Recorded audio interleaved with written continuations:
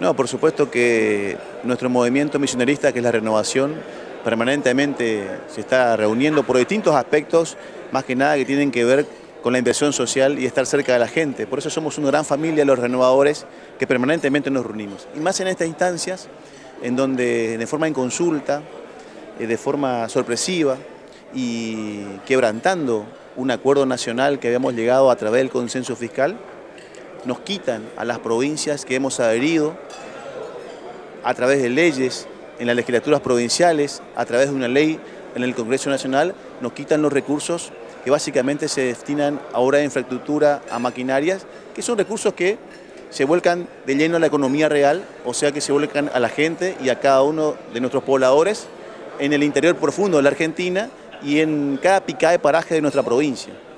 Eso es doloroso para nosotros, ya que se ha incumplido con un acuerdo que nosotros como provincia hemos cumplido en todos los puntos que nos hemos comprometido desde el año pasado hasta ahora.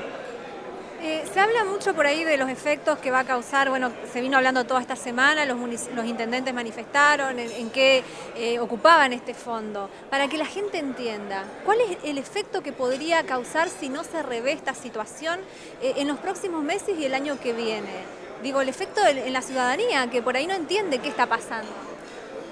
Principalmente este recurso se volcaba a obra pública. La obra pública es una gran dinamizadora de la economía, porque detrás de cada obra hay mano de obra local que se contrataba para que se haga un puente, para que se haga un cordón, cuneta, un empedrado, para que se haga un centro cívico, para que se haga un CAPS, para que se haga una avenida, para que se haga una obra importante.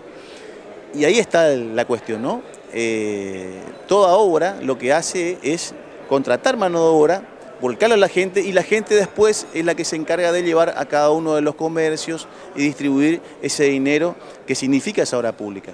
Entonces, eso es lo que estamos cortando, no solamente en los municipios, la provincia también hace obras que son para los municipios.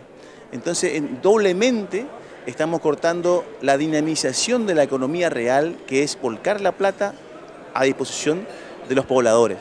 Y eso significa para la provincia de Misiones, estimados para el año siguiente, 800 millones de pesos que no vamos a tener, que se iban a volcar para la dinamización de la economía de cada uno de los municipios de nuestra provincia.